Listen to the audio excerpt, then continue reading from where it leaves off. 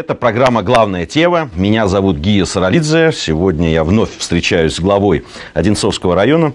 Андрей Робертович, здравствуйте. Добрый вечер. Э, мы не в простой день сегодня встречаемся. Сегодня Всемирный день театра. Я, на самом деле, большой театрал, очень люблю театр.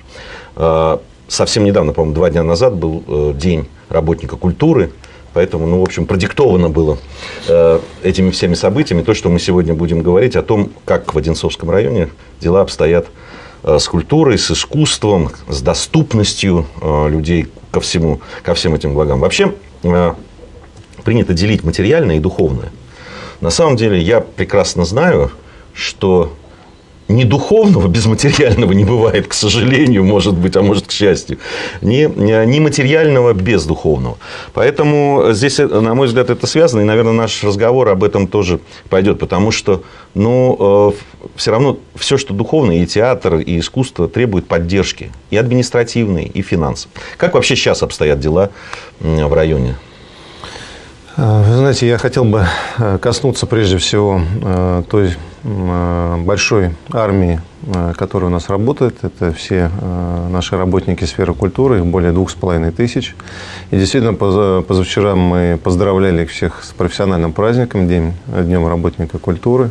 Делал я это в ДК в Успенке и как раз и награждал самых выдающихся наших Э, сотрудников, которые достигли э, высоких результатов. Очень много профессиональных, э, компетентных людей, прекрасных специалистов. И в целом, хоть вы и затронули эту тему, конечно, важны и стены, важны и помещения, и сами здания, библиотека, домов культуры, но без Э, тех уникальных специалистов, которые там работают, конечно, э, культура быть не может. Наверное, не только как любая сфера. Да, не только... Везде нужны люди и профессионалы. Совершенно верно. Не только в Одинцовском районе, но и в целом э, в России, да и, наверное, в мире. Наша система состоит из 37 домов культуры, у нас 44 библиотеки, у нас 9 э, школ дополнительного образования, образования в сфере искусств, у нас 4 парка и э, театр Натальи Бондаревой, э, наша концертная организация. Э, объединение со Звенигородом нам добавляет еще три библиотеки, э, музыкальную школу и еще один парк. Вот такая огромная у нас система. Э, которая эффективно работает, и э, муниципальная система э, культуры, сфера культуры, это, конечно, очень интересная, яркая, разнообразная система, которую, кстати, не все знают. Очень, я считаю, большой пробел в том, что мы не информируем наше население, не делаем это качественно, поэтому многие наши родители выбирают какие-то частные секции, кружки. Платные, не, естественно. Платные, да, не понимая, что есть э, рядом шаговой доступности Дом культуры, э, в котором, скорее всего, и более опытный профессиональный руководитель, и более разнообразный набор тех же секций, кружков, всевозможных объединений, клубов. Они, они датируются? Да, вся эта система на бюджете находится, поэтому все услуги предоставлены, большинство услуг предоставляется бесплатно. Конечно, есть какие-то элементы э, за дополнительную плату, но это совершенно небольшое вкрапление. Хочу сказать, что 13 200 человек проходят через э, сферу культуры, через наше бюджетное э, как раз учреждение.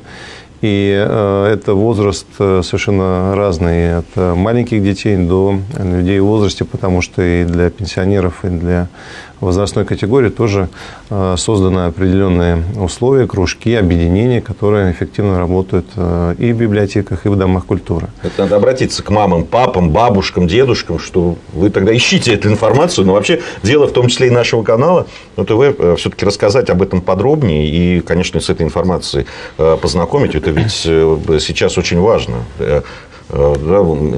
все, все равно времена непростые всегда, и лишними деньги не бывают. И если можно ребенка отвести в какие-то группы, занятия, кружки, которые будут бесплатно, мне кажется, это очень правильная и интересная вещь. Да, очень правильно. И я уже сказал о том, что это, в принципе, наш определенный пробел. Мы понимаем э, всю эту, э, всю эту проблематику и будем в этом году э, вести большую полномасштабную информационную кампанию, рассказывать о всем том разнообразии, которое могут предложить и дома культуры, библиотеки, наша школа искусства, и музыкальная школа в том числе. для любой возрастной группы, для населения. Скорее всего, мы создадим еще и электронный портал, единый портал «Культура», который будет в себя как раз включать, и, в, и вся информация там будет, и по времени работы этих кружков, домов культуры, по Э, по разнообразию как раз того, что они предлагают. Все будет на электронном носителе, э, с хорошей навигацией. И также туда попадут те мероприятия культурно-массовые, которые тоже масштабные, проходят на территории и района, и, соответственно, этих э, учреждений. Мы сегодня встретились в библиотеке что, в общем, понятно. С одной стороны, это э, сфера как раз о той, о которой мы сегодня говорим, э, она для меня даже семейная. У меня теща, она директор библиотеки, причем в Подмосковье. Вот, э, и с теми проблемами, которые Э, сталкиваются, я знаком. Э, при том, что я понимаю, да, и э, разговаривая с ней, что достаточно серьезное финансирование со стороны губернатора, там есть много проектов, которые посвящены именно библиотекам. С другой стороны, библиотеки, понятно, что сегодня библиотека это не то, что мы да, привыкли там со своего детства. Это скорее уже такой центр, он и компьютеризированный, он уже и да, какой-то своеобразный клуб. Вот у вас происходят такие вещи?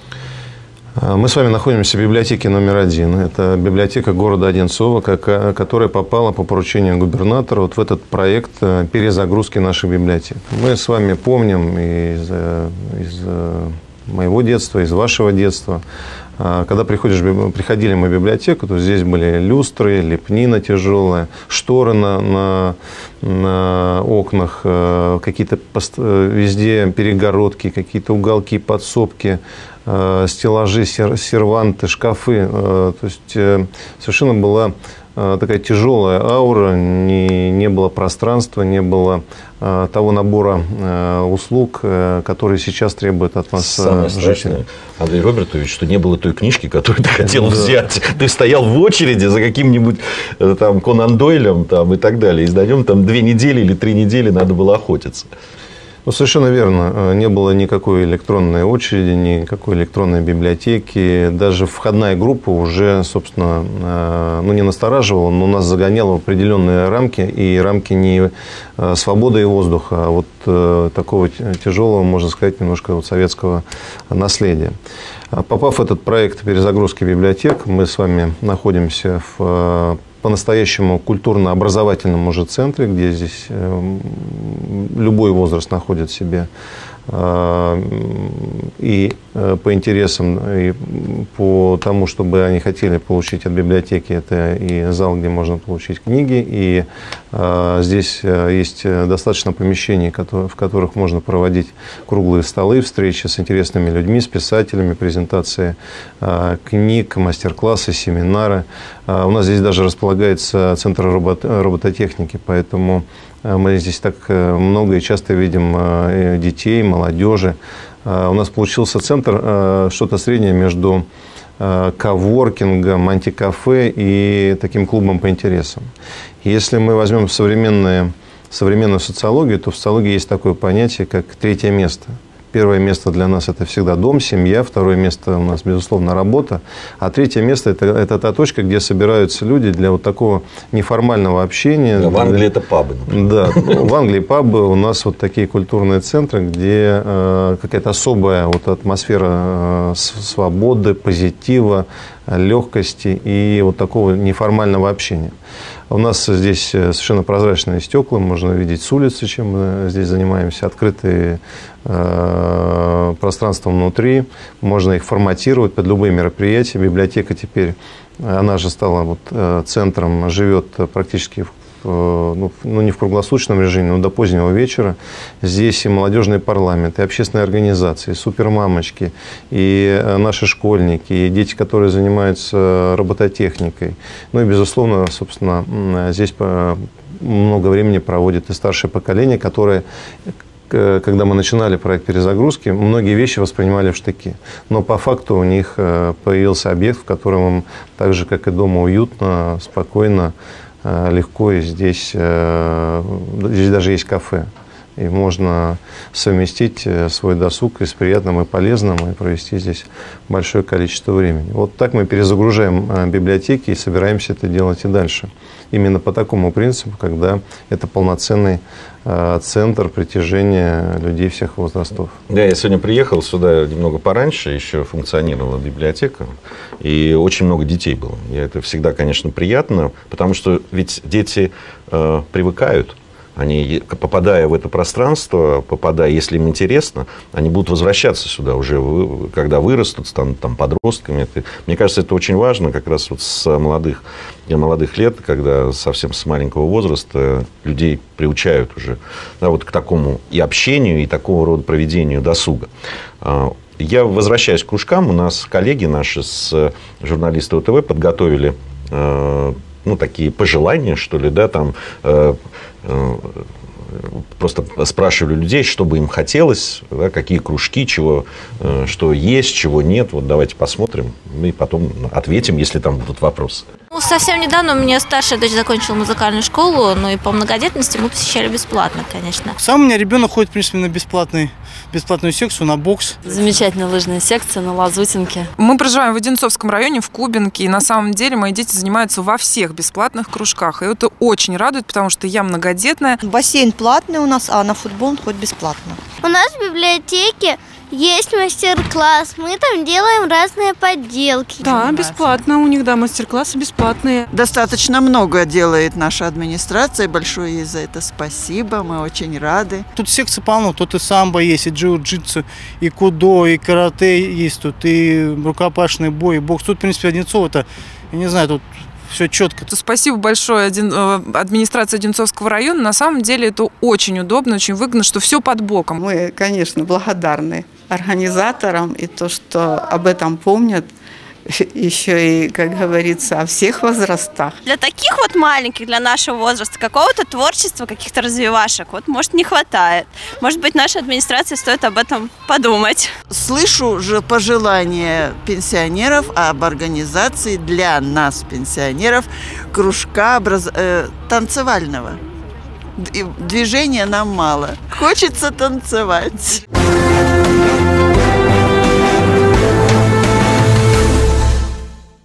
Это программа «Главная тема». Сегодня мы говорим с главой Одинцовского района Андреем Ивановым. Андрей Робертович, ну, танцы. Хотят танцы, хотя мне кажется, что вот с танцами э, все очень просто. Я помню, даже я помню, когда ставили магнитофон э, на, на одной из окон и во дворе там устраивали танцы. Танцевали, да, под открытым воздухом. Да. А много чего есть, и вот люди говорят о том, что и э, вводят детей в бесплатные э, кружки, и это и спорт, это и э, искусство. А вот насколько оно доступно? Да, все-таки доступно, потому что Одинцово это не только город, это большой район, тем более сейчас это городской округ стал. Вот с этим как? С доступностью? Э, ну, критерий доступности, прежде всего, это когда э, Дом культуры располагается в шаговой доступности от того места, где проживаешь, и, соответственно, там э, можно получить вот весь набор того, о чем говорили люди. И это совершенно разные направления. Если посмотреть и сделать срез того, что есть в домах культуры, на сегодняшний день это и творческие коллективы, и фольклор, и всевозможные дискуссионные клубы, экологические секции, исторические, литературные кружки, и шахматы, и иностранный язык, и компьютерная грамотность. Поэтому э, спектр большой, и он э, расширяется с каждым годом в зависимости от того, что просят люди. Э, мы общую статистику я вам уже озвучил по количеству домов культуры библиотек. И наша задача, так как они исторически в советское время были расположены в, во всех поселениях, и обеспечивали, так скажем, всю, э, все население вот этой социальной функцией. Наша задача их приводить в порядок, модернизировать, создавать э, вот эти многофункциональные центры. И об этом тоже говорили люди вот в последнем ролике, который вы показывали. Люди ждут от нас, что можно будет не только сходить э, в литературный кружок, допустим, но и параллельно позаниматься спортом. И в этой связи хотел э, сразу привести пример нашего Дома культуры в Успенке. Как раз он попал в программу перезагрузки, модернизации. В результате этой реконструкции он увеличился в полтора раза, появились дополнительные площади. Помимо Э, библиотеки, помимо актового зала на 300 посадочных мест с самым современным оборудованием, сценой, там появился еще и спортивный зал с мобильными трибунами, которые также э, используются в течение Мобильные всего дня. Трибуны. Мобильные трибуны, которые раздвигаются на период э, проведения какого-то соревнования, а потом сдвигаются, чтобы не мешать для занятий спортом. Очень удобное и оказалось практичное решение не нужно создавать э, стационарные трибуны и занимать много места. Ее можно всегда раздвигать, складывать. Э, там же появилось кафе, там же появились всевозможные э, также помещения для мастер-классов, для изобразительного искусства и профессиональная студия звукозаписи. Вот именно такие сейчас центры и важны, особенно в сельских поселениях, которые, в которых Дом культуры исторически являлся вот точкой притяжения для всех возрастов и, и во все времена. Э, такие э, центры мы будем строить и дальше. То есть их сейчас не хватает? Их сейчас не хватает, потому что нам удалось за последнее время э, привести в порядок и таким образом отреконструировать дома культуры, например, в поселке санатория имени Герцена, в Захаров, Захаровское поселение, деревня Захаров, Дом культуры, в Заречье, Дом культуры в Успенке – мы вот перезагрузили библиотеку э, в городе Одинцу. У нас э, большое количество планов э, на ближайшие пять лет. И по библиотекам, и по домам культуры. И об этом я постараюсь сказать в течение нашего сегодняшнего да, разговора. мы отдельно поговорим о том, Поэтому что основной критерий доступности – это, конечно, нахождение объекта рядом соответствующего стандарта и, и наполнение по кружкам и секциям. Нам нужно просто выбить вот этот стереотип из из понимания наших жителей о том, что Дом культуры – это максимум э, значит, какой-то кружок э, фольклорного творчества. Ну, и, и, наверное, ИЗО. Да. А на самом деле это не так. И поэтому вот эта недоинформированность населения, конечно, э, на сегодняшний день перераспределяет поток и детей, и взрослых вот в кружки, так скажем, дополнительного образования за, за, за деньги.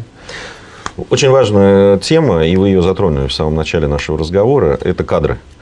Кадры – это люди, которые, собственно, да, всем этим и руководят, и ведут кружки. Вообще работа с детьми если мы про детей говорим, да вообще с людьми. Чего там, это да, да, вещь такая очень тонкая. Особенно, когда дело касается детей. Вот э, в этом направлении что вы делаете? Все-таки рядом есть Москва, да, большой такой центр притяжения, куда э, все равно, хотим мы или нет, люди тянутся, там больше возможностей, больше там, этих рабочих мест и так далее. Вот что администрация предпринимает, чтобы действительно талантливых, э, там, интересных людей оставлять здесь, чтобы они здесь работали? Э, ну, прежде всего, мы пытаемся э, вот этой перезагрузкой и нашими ремонтами, реконструкциями создавать достойные условия для людей, которые э, работают в наших учреждениях.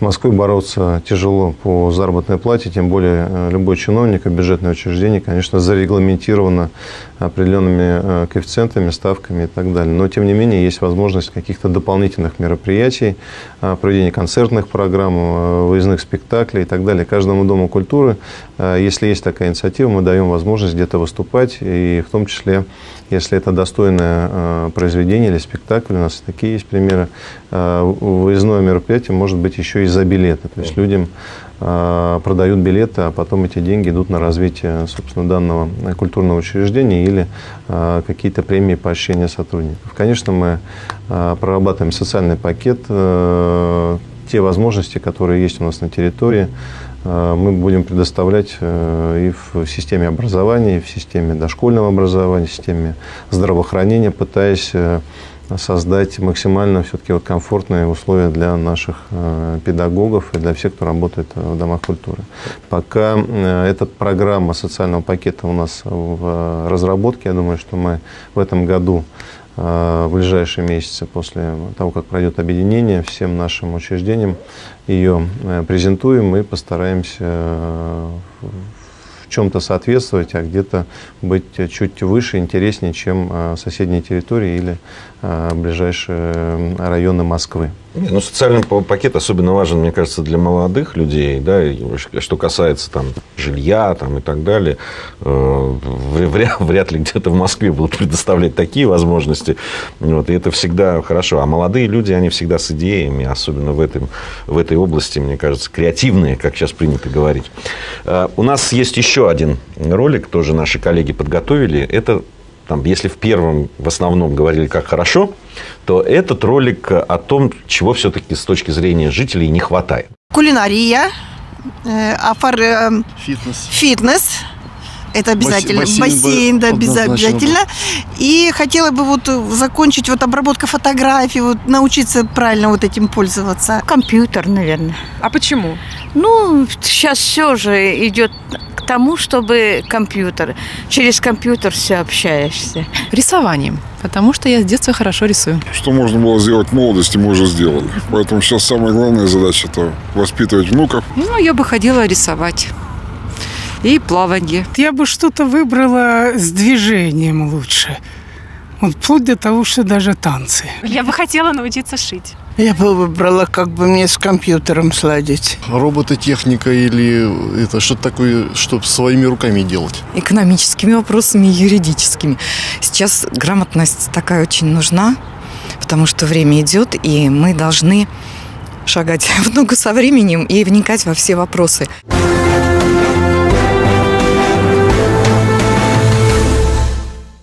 Это программа «Главная тема». Сегодня мы говорим с главой Одинцовского района Андреем Ивановым. Э, вот, э, посмотрите, люди... Э, я услышал сразу, вот это компьютеры, то есть и это действительно веяние времени, наверное. Пожилые люди, люди разного возраста, на самом деле, не хотят отставать, хотят быть, в, как принято у молодых, в тренде, хотят, э, понимают, что очень много возможностей, в том числе и для людей замечательного вот этого возраста. У меня папе 80 лет, он с удовольствием освоил там компьютер, интернет, э, занимается, и, по-моему, сидит больше даже, чем я. А, и второе, то, что связано с движением, это плавание, это фитнес и так далее. Тоже люди, э, которые разных возрастов, которые хотят вести активный образ жизни. Очень, очень радует, что э, все люди озвучивают именно ту концепцию, о которой я уже говорил, что все э, наши э, центры, они становятся многофункциональными. Всем хочется и заниматься спортом, и взять книгу в руки, посидеть в кафе, и пойти на курсы компьютерной грамотности. Хочу сказать, что при каждом доме культуры, который работает на нашей территории, есть вот эти объединения для людей в возрасте или для пенсионеров. А, ну, не знаю, в Дубковском а, доме культуры это там золотой возраст объединения. В Ершовском доме культуры это клуб ветеран. В Баковском доме культуры это клуб ретро. Вот здесь, в библиотеке номер один, музыкальный клуб тоже с названием ретро, для как раз для людей, которые в возрасте. И э, чем, чем больше э, запроса, тем больше появляется этих объединений. Хочу сказать, что всего в целом у нас 800 э, клубных объединений на территории района разного возраста. Ну и, э, конечно, те э, люди в возрасте, которые просят раз, два, три, десять раз создать какое-то объединение, допустим, по кройке шитья, то оно появляется, и, соответственно, на каком-то нашем учреждении культуры там активно развивается. Есть и компьютерная грамотность, и кройка шитья, и театральное искусство, искусство, и музыкальные объединения. И есть у нас даже несколько объединений и возможности создавать вот такие современные, ультрасовременные э, центры, где э, люди занимаются э, режиссурой, где снимают клипы, э, блоги делают, даже кино снимают, в том числе с участием людей в возрасте. Поэтому этой программой мы занимаемся. Вообще считаю, что люди в возрасте – это такие ну, по-настоящему носители традиций, а, особенно если это местная локация, город, деревня, село. И знаю даже многих, которые по 20, по 30 лет состоят в этих объединениях, ходят и занимаются а, тем или иным любимым делом. И несут тем самым вот эту традицию из э, поколения в поколение. Я бы даже сказал, что это вот эти люди в этом возрасте, так как они большую часть жизни в основном прожили именно здесь, они такие хранители патриотизма местного, да, я бы сказал. Совершенно есть, да, они, это люди, э, что очень важно, помнят это место там и 30-40 лет назад, и, и помнят, как оно менялось и так далее. И э, это очень важно. И те, и, и люди, которые это, это знание, с этим знанием делятся с там, младшим поколением. Совершенно верно. И на примере э, этого учреждения, где мы с вами находимся, где перемешаны потоки, здесь, безусловно, дети сталкиваются с пенсионерами, э, люди в возрасте с э, молодежью. Происходит вот такая синергия, интеграция всех возрастов, потоков, и в том числе как раз вот это наставничество, о чем вы говорите, оно здесь присутствует постоянно. И мы всячески этому э, содействуем, э, помогаем. И любой запрос на вот такое объединение э, и новый какой-то формат. Появились недавно шахматы, появились какие-то уже более современные запросы по музыке, по пению и так далее. Мы все это, безусловно, и дальше будем поддерживать и развивать. Хорошо вы сказали, где встречаются там, люди пожилые с молодежью. Помните, замечательный Зиновий Герд в, программе, в, в, в фильме «Место встречи изменить нельзя», говорит, когда его спрашивают, почему вы не поедете к своим родственникам в Киев? Он говорит, не могу, они старые. А старикам не надо жить вместе. Старики должны жить с молодыми. Я, я согласен. И от этого пользы и людям, и тем э, да, пожилым и молодым. Это вот вопросы мне принесли, которые сейчас поступали. Их очень много. Понятно, что на все мы не успеваем ответить в рамках нашей программы, но э, такие наиболее часто встречающиеся и наиболее интересные э, девочки вы, э, выбрали. Первый. Можно ли летом организовать бесплатные занятия по рисованию на открытом воздухе в парке Лазутиной, например? Спрашивают. А, парк Лазутина, который мы с вами долго, а, который мы долго с вами обсуждали в прошлой передаче. Ну, это, наш, мы это наша, находились. Да, это наша жемчужина. Там а, постоянно действуют и работают различные секции и кружки, и скандинавская ходьба, и зарядка люди занимаются, и детские школы, и по лыжам, и по роликам и воркаутом люди занимаются в рамках объединений, секций. Все это происходит бесплатно. Что касается кружков рисования, то они у нас э, бесплатные откроются, с, по-моему, 15 мая, проработают все лето, как, э, собственно, и в прошлом году, где-то до 15 сентября. Поэтому можно зайти на сайт э, парка Лазутиной и получить всю эту информацию. Или в социальных сетях. Также, бывая в парке, можно подойти к стойке администрации, либо спросить у администратора, либо увидеть расписание всех занятий на электронном табло, тоже все доступно. А, если есть э, у этого вопроса э, заявитель, что называется. Ну, наверное, можем, он есть у меня. Мы на... можем туда транслировать. Э, на бумажке нет, но... Транслировать всю информацию полную. Ну, в целом на сайте администрации есть ссылка на парк Лазутина, и там все эти бесплатные секции и кружки тоже обозначены. Еще один вопрос. Слышал, что дом офицеров хотят снести. Правда ли это? И, или будет реконструкция? Все-таки это исторический объект для нас. А, Дом офицеров также является историческим объектом и для нас. Я в данном случае э, говорю про администрацию, про депутатский корпус. Мы а, также считаем, что это визитная карточка города Одинцова и один из э, первых объектов, который появился после собственно, создания и первого строительства жилых домов, которые здесь появились. У Дома офицеров э, существуют проблемы с внутренними коммуникациями, с, э, с фасадами, с крышей. Часть э, фундамента пришло в негодность. Мы поставили как план на ближайшие э, три года провести капитальный ремонт и реконструкцию именно в той парадигме, о которой я э, сегодня вам долго рассказывал, э, сейчас проводим независимый инструментальный контроль. Если профессиональные специалисты нам скажут, что фундамент и стены, и перекрытия в удовлетворительном состоянии, их можно отремонтировать, скрепить, усилить и провести в дальнейшем ремонт, то мы обязательно сделаем многофункциональный там центр и э, обязательно спросим э, жителей и ветеранов, и офицеров, которые там долгие время проводили свои мероприятия, о том, каким хотели они его видеть. А, понятно, что здесь будет присутствовать многофункциональность. Мы сохраним вот этот уникальный зал, которым все долгие годы гордились. А, также все пустые пространства займем теми активностями, которые будут востребованы в Одинцово. В том числе также смешаем потоки и ветеранов, и людей в возрасте с молодежью. Нам, так же как и Звенигорода, нужен обязательно дом молодежи, молодежный центр, где молодые люди от 12 лет и старше могли бы иметь такую свою штаб-квартиру для вот современных видов э, и творчества, и развлечения. И, ну и в целом у молодежи должен быть свой, э, свой уголок. Сейчас мы считаем, что эта библиотека является домом молодежи. И потихонечку сюда все больше и больше молодых людей стягивается. Но хотелось бы для них, так же, как и для людей в возрасте, сделать вот э, свой такой свое вот это третье место, свой еще дополнительный дом для проведения различных мероприятий и досуга.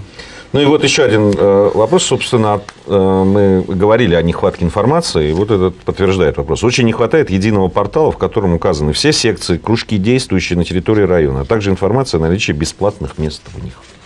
Да, этот портал мы будем создавать, уже соответствующее поручение я дал, необходимо э, будет заложить и денежные средства на разработку этого портала, туда будет стекаться вся информация в электронном виде, и по педагогам, и по кружкам, и по, э, по э, свободным местам, и по какому-то дополнительному образованию, которое появляется, там, в том числе за платное, и по локации, и по ремонтам, и по всем культурно-массовым мероприятиям.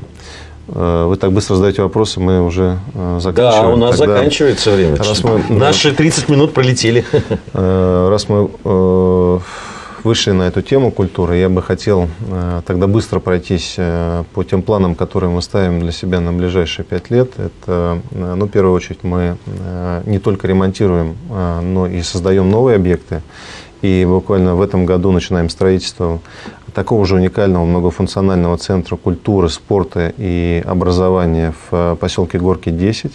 А, тоже появится спортивный зал, большой актовый зал, зал для кинопоказов, э, библиотека, МФЦ мы там же разместим. Это строительство уже начинается в этом году. Сейчас вносятся определенные коррективы в проектную документацию. А, также мы планируем построить Дом культуры в поселке Усово Тупик. Э, этот объект давно ждали наши жители. Там построены многоквартирные дома э, многие годы назад, но ни одного культурного, социально-культурного объекта там не находится. В этом году планируем закончить проектные работы и приступить к строительству в следующем году. Также мы планируем провести ремонт Дома офицеров в новом городке. Планируем провести ремонт библиотеки в новом городке. Э, в городе Одинцово библиотека номер два встает у нас тоже на перезагрузку, на ремонт. Мы планируем создавать и дальше парки. И в этом году закончим проектирование и еще раз обсудим с жителями концепцию по э, благоустройству парка Глазынинский лес. Это восьмой микрорайон города Одинцово. Планируем там э, провести реконструкцию мемориала воинской славы, создать э, дорожно-тропиночную сеть, места для летнего отдыха и летний кинотеатр. Но еще раз повторю, эту концепцию нужно дополнительно обсудить с жителями. И в 2020 году тоже начнем поэтапно благоустраивать. В этом году начнем первый этап благоустройства парка в э, поселке Горки 10 а, тоже будет уникальное место для всего поселения Успенское. Четыре э, наших парков э, поселения Барвиха тоже закончим в этом году, и будет уже полноценные площадки для отдыха и развлечений для наших жителей. Большая программа у нас по Звенигороду. И мы создаем, будем, произойдет строительство еще одной э, школы искусств в микрорайоне Восточном. У нас появятся дополнительные кружки и секции в э, музыкальной школе, э, школе имени Танеевой. Мы закончим реконструкцию Зеленогородского музея и проведем там ремонт и откроем музей. Это все тоже в планах на ближайшее будущее. Но самое важное, что ждет Звенигород, это уникальный комплекс из восьми парковых зон. Ну да, Звенигород у нас же как это? Подмосковная Швейцария. Подмосковная Швейцария – это наша жемчужина, э, которая, собственно, э, в которой одной из основных точек роста будет как раз э, туризм. И об этом, об этом комплексе давно шла речь, много наработок на сегодняшний день, и много желаний у жителей, и у администрации, но вот только после объединения появятся дополнительные финансовые возможности для реализации этого проекта. А, вот э, ну, мы уже с вами коснулись Дома офицеров, который да. тоже в планах э, ремонта. Э, конечно, хотелось бы строить и дополнительно школы искусств, их тоже не хватает. Мы в этом году увеличим количество мест на 100 в Одинцово, потому что огромное количество желающих, но все микрорайоны, которые строились последние 15 лет, они без э, школы искусств. Да, без школы без искусств. Социальной. Мы это тоже касали, этого тоже вопроса касались э, неоднократно, о том, что нет э, детских садов, школ не было, и поликлиника. Мы сейчас набираем обороты, пытаемся выровнять всю эту инфраструктуру, сделать соответствующий баланс. Ну и, как всегда, у нас культура везде и всюду по остаточному принципу. Поэтому уж точно у инвесторов и застройщиков не доходили руки ни до каких школ искусств. Они нужны нужны, и постараемся все-таки в ближайшем будущем тоже найти соответствующие локации, земельные участки и а, с поддержкой нашего губернатора и правительства Московской области, с финансовой поддержкой прежде всего, а, все-таки достроить объекты и а, добавить еще вот эти места для, можно сказать, профессионального образования в сфере искусства и культуры. Да, мне кажется, что это очень важная э, тема. Вот вы сказали по остаточному принципу. Да, так было, кстати, не, не только в тяжелые 90-е, когда вообще никакого, даже остаточного принципа не было, но и в советское время, я помню, этот принцип тоже присутствовал. А, а на мой взгляд, да, это очень важная сфера, и это как раз сфера, которая э, влияет очень сильно на самоощущение граждан, на да, горожан, людей, которые живут. Э, это очень важная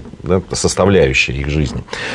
Спасибо большое. Андрей Робертович, глава Одинцовского района, сегодня был в программе «Главная тема». Через неделю мы вновь встретимся. Будет у нас уже, мы намечаем уже новую тему, которую будем обсуждать. Так что следите, задавайте свои вопросы. Мы постараемся на все ответить. На те, которые не ответим, обязательно ответы на эти вопросы появятся в средствах массовой информации и на э, телеканале, и в газетах. Поэтому следите э, и смотрите нас. Спасибо большое. Спасибо.